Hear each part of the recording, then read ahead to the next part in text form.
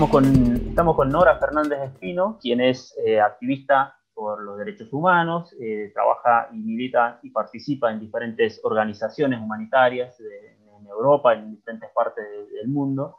Así que, bueno, eh, en este contexto que estamos viviendo y con lo, con lo que está sucediendo principalmente en lo que es el territorio palestino, hemos decidido poder entrevistarte. Y gracias desde ya por acceder a esta entrevista eh, para el colectivo de medios comunitarios de Cuyo y para Giramundo Televisión. Que nos puedas hacer un breve repaso eh, del origen de esto, que por ahí no hay demasiada información y que nos interesa mucho saber y difundir. Esto se inicia hace 73 años, se acaba de cumplir los 73 años recientemente ayer, en lo cual eh, se inicia con la, el este asentamiento que va a llevar a la, a la posterior expansión y a lo que está viviendo el pueblo palestino hoy. Y eso quisiera que nos puedas hacer un breve repaso. Bueno, primero que nada quiero decirte que la agradecida soy yo y desde que comenzó la situación que está sucediendo en este momento en la franja de Gaza, eh, lo que he visto en los medios eh, realmente no refleja en absoluto la realidad eh, la narrativa que se escucha, lo que, lo que la gente tiene como información, es eh, la campana del lado israelí que cuenta la historia eh, de una manera que yo puedo categóricamente desmentir, porque yo he estado presencialmente en la franja de Gaza en todos los años que hubo operaciones militares de envergadura excepto en el plomo fundido que fui un poco después de que terminara la operación. O sea, te puedo hablar del año 2009, te puedo hablar del 2012, te puedo hablar del 2013 y del 2014. O sea, he estado en la franja de Gaza en todos esos años. Eh, la realidad es que por lo que se ve en los medios de prensa, eh, hay un atacante eh, y un atacado pero eh, lamentablemente, o sea, estamos como invirtiendo la carga de la realidad, porque el atacante, desde el comienzo, como vos mencionabas, ¿no? hace 73 años, eh, como también dijiste, se conmemora, se conmemoró, mejor dicho, el día de ayer, el día de la Nakba palestina. Eh, significa catástrofe. Eh, la catástrofe del pueblo palestino coincide con la creación, o mejor dicho, la implantación del Estado israelí en más de la mitad del territorio de la Palestina histórica, de acuerdo a la resolución 181 de las Naciones Unidas. O sea, esto que sucedió hace 73 años y que tuvo, digamos, el marco legal relativo, porque 33 países que nada tenían que ver con la región del Medio Oriente, tomaron la determinación de dar una tierra sin gente a una gente sin tierra. Que esto es la primera de las, de las mentiras donde se sostiene la existencia del Estado de Israel. O sea, cuando se implementa, cuando se determina la, partición de Palestina, se olvida de alguna manera eh, que esa es una tierra que tiene población que ancestralmente ha vivido en la región es gente que tiene eh, ancestros que han vivido en la región durante cientos y cuando no miles de años. Entonces empezamos ya desde una base falsa, desde una resolución que es absolutamente injusta. La partición de Palestina se hace en el año 48, mejor dicho, se vota en el 47 y se efectúa, eh, digamos, este, la, la fundación del Estado israelí en el 48 que tenía mucha vinculación con el tema de resarcir de alguna manera eh, a los judíos por, el sufrimiento padecido durante el holocausto. Eh, los palestinos nada tenían que ver, nada tuvieron que ver y no tenían ningún motivo por el cual pagar el precio de lo que sucedió en países europeos, eh, en agresiones que fueron por los que ahora se convirtieron en los nazis, eh, porque ahora en Europa no se puede hablar de que los alemanes eh, fueron los que, hicieron lo, que sucedió en la Segunda Guerra Mundial, sino que ahora por una serie de cuestiones que se han ido modificando en el tiempo, eh, la palabra Alemania no existe, o sea, no, se, quita de la, del tema y se habla de los nazis, como que los nazis eh, fueron alguien que surgió, vaya a saber de dónde, y en algún momento, bueno, desaparecieron, salieron de escena. La realidad es que todas estas, estas circunstancias, por supuesto tremendamente desgraciadas, sucedieron en Europa, entre países europeos, y no hay ninguna razón por la cual eh, Palestina tenga que ser la que paga este precio, no solamente teniendo que compartir su territorio, sino todo lo que viene después, o sea, todo lo que constituye la catástrofe de los palestinos. O sea, porque cuando se instala este Estado,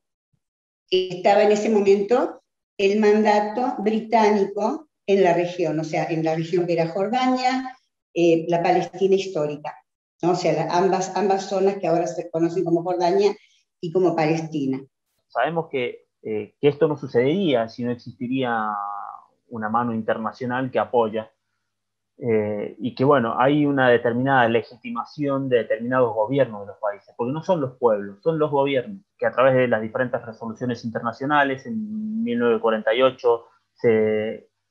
se decreta el, espacio territorial para la fundación de un Estado, que a partir de eso ese Estado con apoyo internacional ha dado un expansionismo impresionante por sobre la comunidad palestina, por sobre el territorio palestino, y lo vemos que constantemente es algo que más allá del bloqueo informático que existe, hay diferentes formas y mecanismos que podemos eh, acceder a determinada información. Bueno, sin ninguna duda, el Estado israelí existe solamente porque desde el comienzo eh, ha tenido el apoyo internacional de países coloniales, o sea, Estados Unidos eh, fundamentalmente y después los poderes coloniales europeos,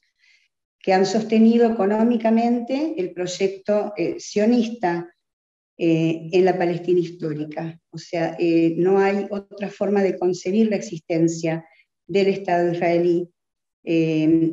cuando se hace la partición de Palestina, está el mandato británico, como habíamos dicho en el, comienzo, y el mandato británico eh, tenía una misión que es mucho anterior a la Segunda Guerra Mundial, que tiene que ver con la Declaración Balfour, que fue eh, hecha hace más de 100 años, o sea, el compromiso de Gran Bretaña de hacer todo lo posible para que se pueda instalar una patria para los judíos en la Palestina histórica. O sea, esto sucede incluso mucho antes de que Gran Bretaña tenga el mandato sobre esa zona, o sea, lo cual es muy eh, significativo. O sea, ellos hacen ese compromiso previamente con la organización eh, sionista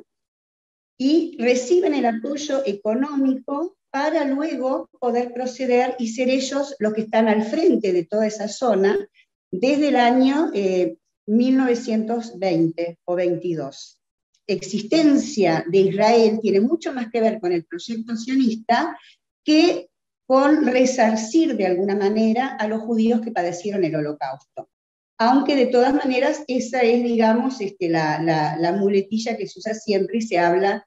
y se vuelve sobre el tema del holocausto y que ellos necesitan tener ese lugar porque es un lugar seguro para ellos, entonces ahí está toda la, narrativa que empieza desde los países occidentales. El espíritu belicista de, Israel empieza a mostrarse desde los primeros momentos. O sea, eh, durante el mandato inclusive británico, ellos ya estaban organizados en, milicias que son iguales a las milicias que tienen ahora eh, los colonos israelíes, que la gente que puede ver videos en YouTube y en, otros lugares, porque los medios eh, masivos de comunicación jamás se muestran esas cosas, pero se pueden ver esos grupos de gente que recorren toda Palestina, en realidad, este, con armas pesadas, con ametralladoras, y que son reales milicias, ¿no? que están allí eh, protegidos en general también por el ejército eh, de la ocupación. Entonces, estas milicias existen desde el, desde el comienzo, o sea, ¿por qué se llama la catástrofe palestina, porque desde el momento que se instala el Estado y, se, se promueve la existencia del Estado israelí, estas milicias empiezan a actuar sobre la población civil, empiezan a destruir cientos de aldeas empiezan a echar, a expulsar a la gente, o sea, muchos han visto la, característica eh, llave que, los palestinos tienen siempre en su mano y muestran, que es lo único que se pudieron llevar, o sea, cuando venían estas milicias a matarlos, a, apuñalarlos, a, a balearlos, la gente agarraba la llave de su casa, las pocas cosas, los documentos, lo que pudiera agarrar y se iban, tenían que irse porque era gente en general campesinos, no era gente que estaba esperando eh, que alguien los viniera a echar de sus casas. Esto sucedió en forma, o sea, sin, sin, que los, sin que los palestinos estuvieran preparados a dar una respuesta. Ese es el discurso, es que a esto lo tildan de una guerra, o sea, un enfrentamiento entre dos ejércitos regulares, completamente equipados, y que acá no existe una población detrás. Eso es el discurso eh, que nosotros vemos en los medios de comunicación, en las redes sociales,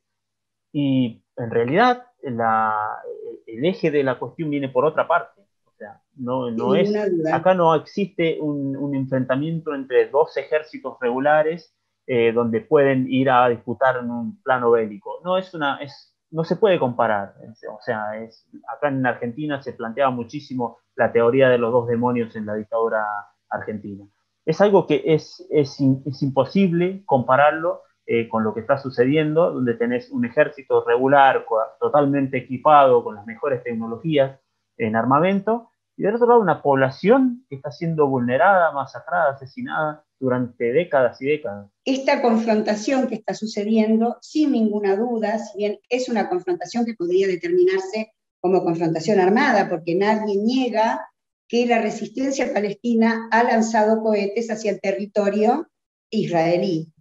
Pero eh, la pregunta sería, ¿cuánto tiempo es prudencial para que un pueblo oprimido eh, se defienda? Digamos que inclusive bajo las leyes internacionales, un pueblo que vive bajo ocupación tiene todo el derecho a defenderse y de alguna manera a través de los medios de comunicación se escucha este, esta repetición permanente, Israel tiene derecho a defenderse, Israel tiene derecho a defenderse,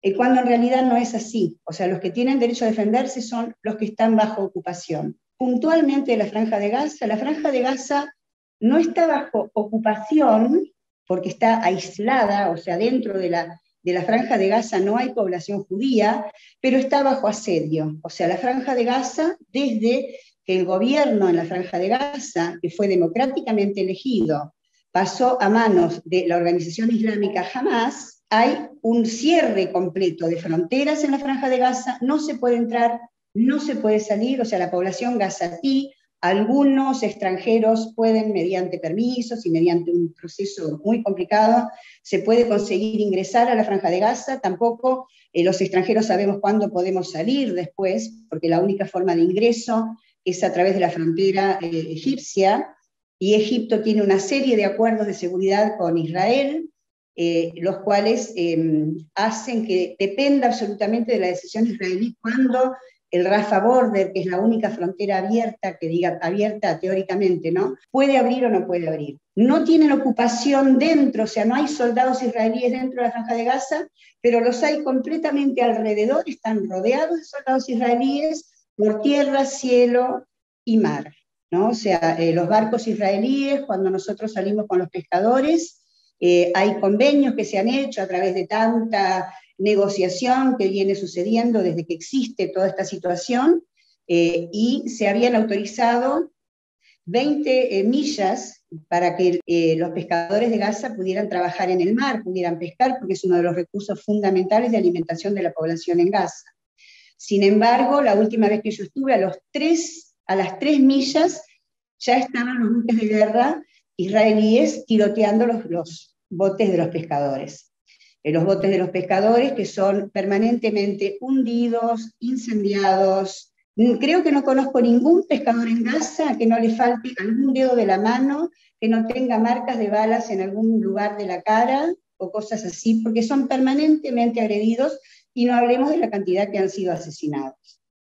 O sea, esto lo he, lo he presenciado porque nosotros salimos con los pescadores estamos ahí cuando ellos empiezan a, atacar a los barcos. Entonces esto no es algo eh, que me han dicho, es algo que yo he visto. De la misma manera sucede eh, con la gente que trabaja en la, en la, parte agropecuaria, digamos, los, los campesinos. La Franja de Gaza se trabaja el campo, se trabaja la tierra de la forma más primitiva porque no se permite maquinaria, porque no hay maquinaria, o sea, la gente está con, con las herramientas manuales tirados en el piso, sembrando, sacando, o sea, cosechando, todo se hace de una manera eh, que nos lleva a muchísimos años atrás. O sea, es en el único lugar en el mundo que yo he visto trabajar la tierra de esa manera y levantar las cosechas de esa manera. No hay una guerra entre una organización eh, que se llama Hamas, porque en realidad, o sea, la, la resistencia palestina está conformada por todos los partidos políticos en Palestina, absolutamente por todos. O sea, ellos se ensañaron porque, bueno, hay que mostrar este, una cara, alguien tiene que ser el malo y hay que separar y hay que tratar de construir una narrativa, pero la realidad es que nos hemos, yo me he reunido personalmente con los líderes de todos y cada uno de los grupos de la resistencia palestina y son absolutamente todos, el Partido Democrático, eh, la Yihad Islámica, Hamas, por supuesto, que es además el gobierno de la Franja de Gaza, y todas las demás facciones. Y esto quiere decir no solamente que son partidos políticos, sino que es la gente, o sea, los palestinos, los palestinos que no pueden vivir más bajo esta situación, o sea, los del West Bank bajo ocupación, teniendo que pasar por los checkpoints israelíes para ir a su casa, para ir a la escuela, para ir al trabajo, sufrir las humillaciones, sufrir los ataques de, estas milicias que, están pululando por todos lados, los ataques de los militares, eh, bueno, todas las situaciones que sabemos, las mujeres pariendo en los checkpoints, eh, situaciones que son absolutamente violatorias de los derechos humanos. O sea, por ejemplo, para darte un caso puntual, eh, de lo que está sucediendo en Gaza, de la masacre tremenda que está sucediendo en Gaza y que no sabemos cuándo va a terminar. En el día de ayer eh, se bombardearon alrededor de las calles de los hospitales para que las ambulancias no puedan acceder a llevar a los heridos al hospital. Crímenes de guerra, si hacemos una lista de los crímenes de guerra y de las violaciones a los derechos humanos que el Estado israelí comete cada día desde estos 73 años y anterior, porque cuando se instala el Estado judío, no es que nace este, como una pequeña semillita, no, no, ya tiene una infraestructura de Estado, ya tiene un ejército que ha sido entrenado, armado y preparado por los británicos. Entonces, esto es un Estado que ya está armado y que ya tiene un funcionamiento. Entonces, este, tenemos una situación que es absolutamente insostenible. Y es inentendible el hecho de que eh, se planteen como víctimas, porque cuando vemos los números de los muertos, cuando vemos el desastre causado, no hay una, una coherencia en el relato de los medios, en el relato de ellos mismos, en el relato que le escuché ayer a la embajadora israelí acá en la Argentina, con lo que se ve. Lo que pasa es que lo que se ve eh, se sepulta, o sea, no se puede ver, porque yo no lo he visto en los medios. O sea, ellos sepultan la realidad del mismo modo que sepultan las familias enteras en la franja de Gaza, bajo los escombros de sus casas, como pasó hoy, como pasó ayer, como hace cinco días que viene sucediendo. En, torno a eso quería hacer una breve pregunta. Eh, ¿cómo, ¿Cómo analizás vos este, eh, los hechos durante estos últimos días? Si vos nos estás contando la vida cotidiana de lo que se vive en, eh, en el territorio palestino y principalmente la comunidad palestina. Quisiera que nos, pudieses contar el desenlace en estos últimos días que llevaron a esto, que no hay precedente anterior de lo que está sucediendo. Es una masacre total. Bueno, además hay que puntualizar también la franja de Gaza, la mitad de la población de la franja de Gaza son niños. Entonces esto eh, tampoco lo escuchamos en los medios de comunicación. Habla, acá parece que está jamás solamente en Gaza tirando, lanzando cohetes y la pobre gente en Israel corriendo hacia los refugios. Bueno, en Gaza ellos no tienen esa suerte, no existen refugios en Gaza, eh, los bombardeos que tienen casi a diario además. O sea, lo que sucede es que, como vos decís, solamente se presta atención cuando los muertos empiezan a contar ya por centenas. Pero la realidad es que en Gaza hay bombardeos casi todos los días y sin embargo eso no, nunca se menciona. Imagínate que si casi no se ve lo que está pasando en el lado de Gaza en este momento que está sucediendo en la masacre, solamente se ven eh, a, la gente de en Tel Aviv corriendo hacia los refugios, este, imagínate cuando es una cosa de menor envergadura. O sea, eh, un pueblo que vive bajo una opresión brutal, feroz, durante más de 73 años, en algún momento yo creo que es este, prudente ¿no? entender eh, que tiene que reaccionar, porque hay un punto en el cual ya no se puede subsistir. O sea, la franja de Gaza eh, no tiene agua potable, o sea, ya ha sido declarado un lugar en el cual no es posible eh, sostener la vida de una población. No tiene agua potable ya hace varios años, sufren todo tipo de enfermedades no tienen infraestructura, porque la infraestructura que tienen la, han destruido todas las veces que, que se han eh, sucedido estas incursiones militares, eh, no tienen cloacas, no tienen eh, forma de sobrevivir. O sea, la manera cuando uno va a la franja de Gaza, lo primero que viene a tu cabeza es cómo hacen para vivir, cómo hacen para vivir. O sea, los campos de refugiados superpoblados, y lo más importante a remarcar es justamente esto, ¿no? o sea, cuando se está hablando de la resistencia palestina, no se está hablando de una organización terrorista, se está hablando de la resistencia que está compuesta por la población, por la gente de Palestina que está absolutamente harta y creo que tienen toda la razón del mundo, porque ¿cuántos años se pueden soportar? ¿Cuánto tiempo se puede soportar esta situación? Bien, por, por último, me gustaría saber tu perspectiva en torno al gran silencio de organismos internacionales, eh, gran silencio de los, de los gobiernos, más allá de que, como charlamos, eh, no es el silencio de los pueblos, porque por ahí los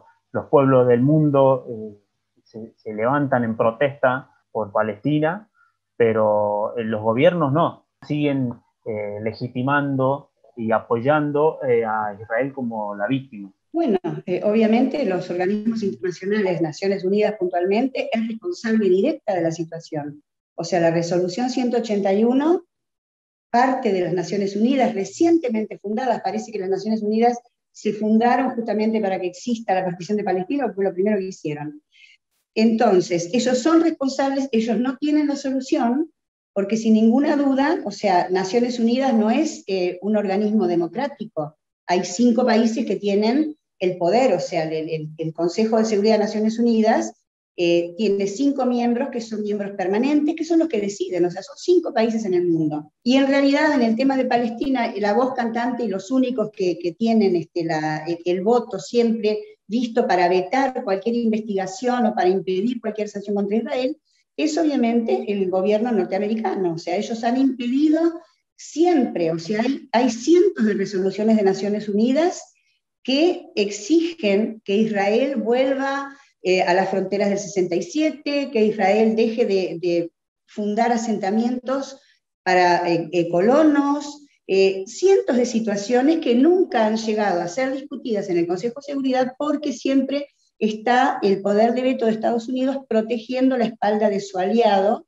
geopolítico en el área de Medio Oriente. Entonces eso es completamente, mientras exista esa estructura en Naciones Unidas, eh, no va a ser Naciones Unidas la que va a dar ninguna respuesta. Escuchamos los discursos eh, de cada uno de los, de, los representantes que están en la Asamblea General o en el Consejo de Seguridad, nadie condena estas matanzas y estas masacres permanentes. Nadie condena el apartheid, el sistema de apartheid. Y eso es una cuestión de, de, que netamente se limitan a decir, preocupa la situación del conflicto entre Israel y Palestina. Y es lo único lo que se limita. Y no, y no hay que olvidar, obviamente, o sea, porque mucha gente compara el apartheid en Palestina con el apartheid sudafricano. Pero ¿cuál es la diferencia? El apartheid sudafricano no tenía en todos los países del mundo las quintas columnas de los lobbies eh, sionistas tremendamente poderosos. En cada país se replican estos lobbies eh, que tienen un poder tremendo, que además están, que pertenecen al poder, están en los gobiernos. En, Inglaterra eh, tenemos un parlamento que es un parlamento solamente de judíos, por ejemplo, que eso no podría existir, no debería existir. O sea, con una, super, una representación enorme, o sea, mirando la cantidad de población que hay, eh, la representación que ellos tienen dentro del Parlamento es enorme. Entonces eso es el tema que hace imposible que se pueda cortar esta situación, porque ellos están encaramados en el poder en cada país, en cada país europeo, en Estados Unidos y en los países de Latinoamérica de la misma manera. Te agradecemos por, por cedernos este espacio para interiorizarnos un poco más y para poder difundir esto. Eh, nos gustaría que a modo de, análisis personal tuyo puedas decirme qué vislumbramos en el horizonte ante una, negativa total y por otra parte un pueblo que no se rinde, o cuáles son las alternativas, las posibles vías, qué tendría que por lo menos ir sucediendo para que esto pudiese transformarse y no termine en lo que con la complicidad de los organismos internacionales está haciendo eh, el, Estado judío, eh,